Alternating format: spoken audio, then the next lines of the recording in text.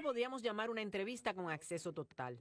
Televisa Univisión se convirtió en el primer medio hispano en pasar tres días junto al presidente de Estados Unidos, no solo mientras este trabajaba en la Casa Blanca, sino también durante algunas de sus giras de campaña. En su opinión, ¿cuál es la mayor amenaza para la libertad y la democracia en Estados Unidos? Donald Trump.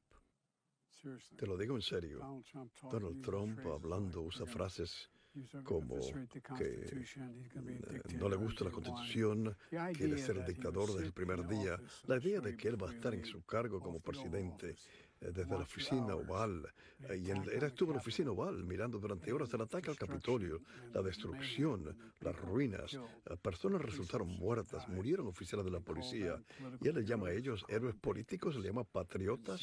Nuestro colega de N, Enrique Acevedo, conversó en profundidad con el presidente Biden sobre cuidado de salud, control de armas y educación. Me critican a mí por tratar de recalcar a, más inversión en la educación. ¿Cómo en nombre de Dios podemos ser líderes en el mundo sin una buena educación. Tenemos aproximadamente 25 estudiantes de kindergarten al doceavo grado.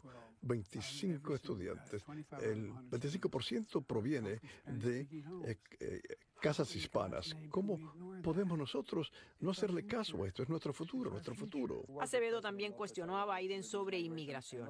Mi pregunta es, ¿cómo piensa arreglar el tema quizá más polarizante en la política estadounidense actualmente?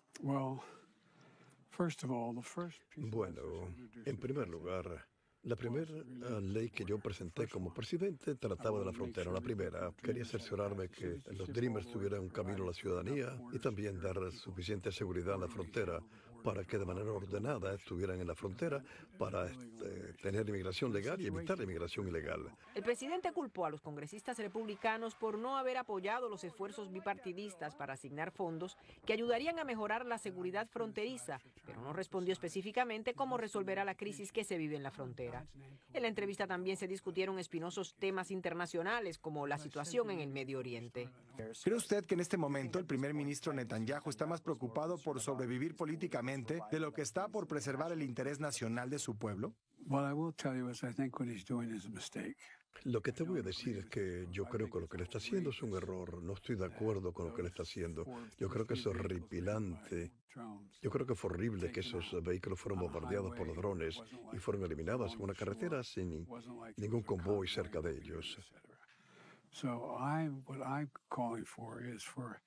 Lo que yo propongo es que los israelíes pidan un cese de fuego que les permitan en las próximas seis u ocho semanas tener acceso total a todos los alimentos y medicinas para que entren y se lo lleven al país. Al preguntarse al presidente cuál sería su legado,